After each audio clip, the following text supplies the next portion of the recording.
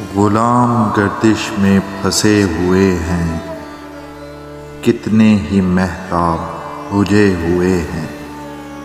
अहले ज़रफ़ का किस्सा यही है। ज़ख़म लिए भी सजे हुए हैं। हकीकत आदम से जो आशना नहीं है, ना खुदा वही अब बचे हुए हैं। वक्त क्या है? क्या ये अज़ल है? इसी पे अब तक फंसे हुए हैं। खुदी की मस्ती में है वो ताकत। हम हैं अकेले, वो बटे हुए हैं। कहेगी दुनिया क्या साबरी को, इसीलिए हम डटे हुए हैं।